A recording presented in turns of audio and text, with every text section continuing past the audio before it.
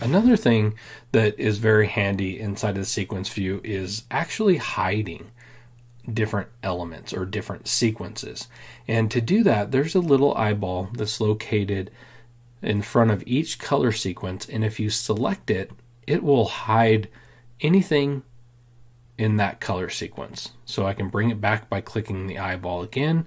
You'll just notice that it's very simple to select the eyeball for a color sequence and turn those stitches off. Now, the times that you'll utilize this is when you're really trying to analyze a design to make sure that everything is there that it needs to be. Um, or if you're going to create another element, sometimes it's nice to hide something so that you can really focus in the area that you want to. So, the other thing that you're able to do with the Floriani software is utilize something called the Ghost tool. And it's located in the bottom left hand side of the toolbar. And if I select it, what it will do is it will actually hide, it'll, it'll ghost anything that's hidden.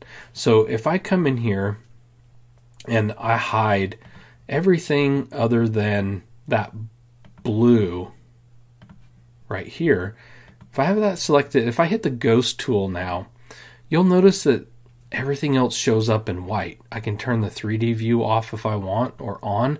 With it on, you can kind of see the detail.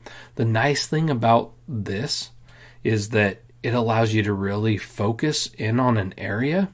At the same time, you're able to see the stitches that are included in the design. So if you're adding an element, it makes it easy to, let's say, I'm just going to make this into applique. I could have this ghosted and now I could just create my line right down the middle of this um, steil stitch border and it makes it just really easy to do really easy to see those stitches. So it's just another really handy way to utilize the sequence view.